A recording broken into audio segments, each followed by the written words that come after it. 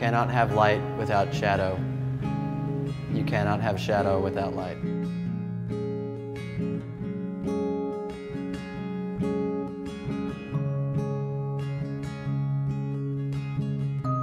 I know my dad is cheating on my mom, and I've never told anyone that I know that.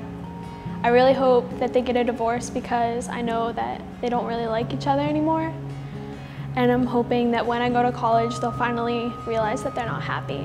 One year when I was dancing at a recital, my boob fell out of my top dress.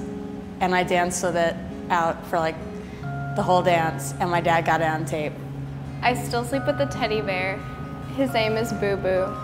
I have slept with him every night since I was, well, pretty much born, 17 years. I fear to feel for another, for my heart breaks every day for the ones I already love. When I was eight, I went with my friends to go see a neighborhood dog. Apparently the dog didn't like kids, so long story short, it bit me in the face. If I hadn't have moved, I would have been blind in my right eye. My biggest fear, that hope will die. In sixth grade, I was riding the school bus on the last day of school, and my first kiss was forced on me. It took me about a minute to push him off, and uh, but that was a minute of not fun.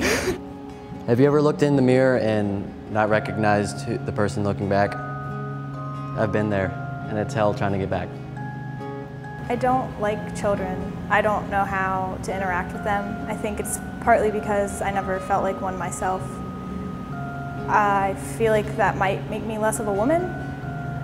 I never saw the point in being a mother since I never had one.